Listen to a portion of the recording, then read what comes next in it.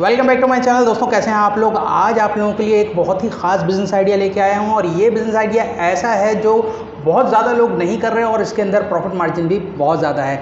वजह ना करने की ये है कि लोग इसको बहुत ज़्यादा मुश्किल समझते हैं इस वजह से कर नहीं पाते। तो आज इस बिज़नेस के एक्सपर्ट से हम पता करेंगे कि ये बिज़नेस आप किस तरह कर सकते हैं किस तरह आप इससे अच्छी अर्निंग कमा सकते हैं। तो हमारे साथ आज मौजूद हैं वजाद भाई शाह साहब कैसे हैं आप? अल्लाह का शुक्र है। थैंक यू सो मच कि आपने हमें टाइम दिया। अब आप इस बिज़नेस के बारे में बताइए और बताइए कि ये बच्चे जो है, वो किस तरह पाले जाते हैं और उनका बिज़नेस किस तरह किया जाता है? ये हमारा बेसिकली काम है ग्राउंड बर्ड्स का। अब ग्राउंड बर्ड्स के अंदर हमारी स्पेशलिटी जो है, वो हम फैंसी मुर्गियाँ, चकोर वगैरह, बटेर, तीतर, सब चीज़ों में डील करते हैं। मगर ये एक स्पेशल चीज़ है, शितरमुर्ग, जिसके अंदर बहुत सारे लोग काम नहीं कर रहे। चंद एक लोग कराची के अंदर इसके ऊपर काम कर रहे हैं।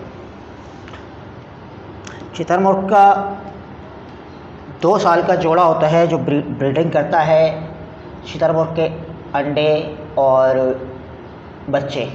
आप अगर ब्रीडिंग कराना चाहते हैं चितरमुर्ग की तो उसके लिए एक प्रॉपर फ़ार्मिंग होगी और आप उसके अंडे और बच्चे दोनों सेल कर सकते हैं। ये जो बच्चे आप देख रहे हैं, ये बच्चे जो है पंद्रह दिन से बीस दिन, बाईस दिन की एज के हैं। ये दे, आपको मुख्तलिफ़ साइज़ नज़र आ रहे होंगे। तो ये बच्चे जो लोग फ़ार्मिंग नहीं करना चाहते, उनके लिए ये एक बिज़नेस आइडिया है कि वे ये बच्चे परचेज़ करके इनको पालें और पालने के बाद बेच दें। ये छोटे बच्चे जो है, तीस से पैंतीस हज़ार का जोड़ा मिल जाता है, जो बीस दिन, बाईस दिन से महीने तक की उम्र का होता है। और तकरीबन छः सात महीने का हो गया जोड़ा बासानी पचहत्तर, अस्सी हज़ार रुपये में फ़रोख्त होता है। और जबकि ये इतने वक्त, ये चंद महीने इनको पालने में, इसके ऊपर बहुत मुश्किल दस से पंद्रह हज़ार रुपये ख़र्चा आता है। यानी अगर आप एक जोड़ा लेकर पालते हैं तो आप बासानी एक जोड़े के ऊपर बीस से पच्चीस हज़ार रुपये छः महीने में कमा सकते हैं। ये एक जोड़े की मैं बता रहा हूँ प्रॉफिट मार्जिन अब उसके अंदर आपके ऊपर डिपेंड करता है कि आप कितने जोड़े एक वक्त में पालना चाहते हैं। अच्छा ये बताइए कि अगर बहुत से लोग जो है, जो वीडियो देख रहे हैं, हो सकता है वो शौकिया तौर पे भी जो है, वो इसको एज अ पेट रखना चाहें। तो उनके लिए बताइए कि किस तरह वो रख सकते हैं, ये क्योंकि किसी भी को, किसी को भी मेरे ख्याल में इसका एक्सपीरियंस नहीं होता इतना। इसमें कोई ऐसी ख़ास मुश्किल नहीं है। इनको रखने के लिए आप इसको एक छोटे केज में भी रख सकते हैं। चार फिट बाय छः फिट का केज हो आपके पास। उसमें रख सकते हैं एक जोड़ा बासानी।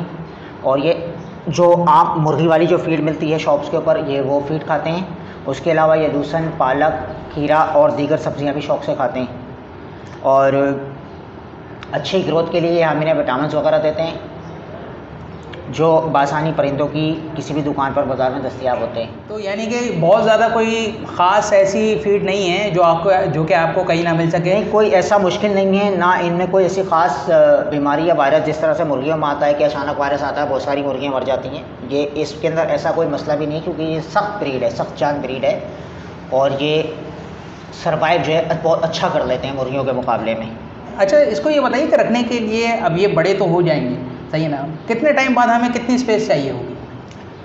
अगर आप के पास एक 10 बाय 12 का कमरा है तो आप बासानी इसके चार से छः जोड़े रख सकते हैं। ये तकरीबन छः महीने में इनकी हाइट ढाई फिट तक हो जाती है और एक साल के अरसे में नौजवान होकर साढ़े तीन से चार फिट के हो जाते हैं।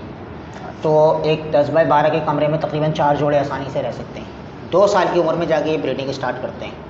अच्छा ये बताइए कि ये जो ब्रीडिंग स्टार्ट करते हैं तो एक वक्त में जैसे कितना कितना टाइम ड्यूरेशन होता है और कितने एग लेग करते हैं इस हवाले से? इनकी मादा जो है अल्टरनेटिव डे पे अंडा देती है और सीज़न वाइज देती है। अभी ये जो सीज़न चल रहा है अंडे का, ये मार्च के एंड में या अप्रैल के स्टार्ट में अंडे शुरू करते हैं और ये बारिशें होने तक, उमून हमारे यहाँ पे जुलाई में या अगस्त में बारिश होती है तो बारिश होने तक रेगुलर अंडे देंगी। उसके बाद इनका एक सीज़न आएगा अक्टूबर के बाद।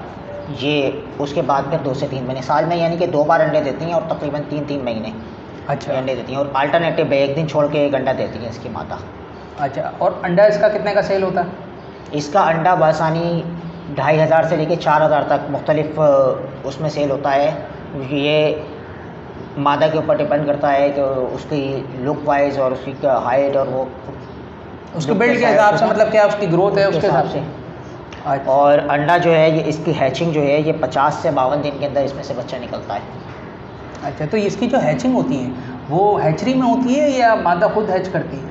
नहीं मादा को अगर आप हैच करने में बिठा देंगे तो फिर वो अंडे देना रोक देगी। और पचास से बावन दिन में हैच होता है क्योंकि इसका अंडा देने का सीज़न ही तीन महीने का है। तो हाँ। अगर आप उसको डेढ़ महीने से ज़्यादा अंडे पे बिठा देंगे तो फिर वो लॉस है।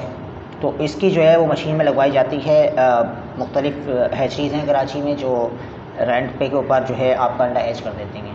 अच्छा हैचिंग के वाले से एक मैं बात बता दूँ कि हैचिंग की सहूलत हमारे पास मौजूद है। अगर कोई शतरमुख का अंडा या और कोई अंडे को हैच करवाना चाहे तो वह रबता कर सकते हैं।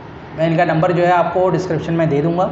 अगर आप परचेज़ भी करना चाह रहे हैं और ये बिज़नेस भी करना चाह रहे हैं उस हवाले से तो भी आप रब्ता कर सकते हैं। और अगर आप बिज़नेस पॉइंट ऑफ़ व्यू से हैचरी करवाना चाह रहे हैं तो भी आप रब्ता कर सकते हैं। मगर ये यहाँ पर मैं मेंशन कर दूँ कि एक, दो अंडे के लिए आप कॉल ना कीजिए, क्योंकि यहाँ पर जो है वो वजह भाई खुद ही बताएँगे। शाह बताइए कि कम से कम कितने अंडे देखिए, हमारा होलसेल का काम है बेसिकली और हमारी कोई शॉप नहीं है। हम लोग फ़ार्मिंग करते हैं हैचिंग करते हैं। उसके अलावा बाहर से हम चीज़ें मंगवाते हैं। तो हमारी बेसिकली जो होल सेल का काम है और शॉपकीपर्स को सप्लाई है या जो अंडे हमारे कस्टमर हमसे परचेज़ करते हैं जैसे चकोर का अंडा, गेनीफॉल का अंडा मिस्री के अंडे, ये हमारे पास बल्क में दस्तियाब होते हैं। तो हैचिंग कम से कम ये है कि पचास से सौ अंडे हों तो उसकी हैचिंग फैसिलिटी मिल जाएगी। तो मेरे दोस्तों, ये एक बहुत ही बेहतरीन बिज़नेस है और सबसे अच्छी बात यह है कि इस बिज़नेस के अंदर आपको कंपटीशन बहुत कम मिलता है। वैसे तो मैंने कोशिश करी कि मैं सारे पॉइंट क्लियर कर सकूँ, फिर भी अगर आपके जहन में कोई सवाल हो तो आप कमेंट के अंदर पूछ सकते हैं।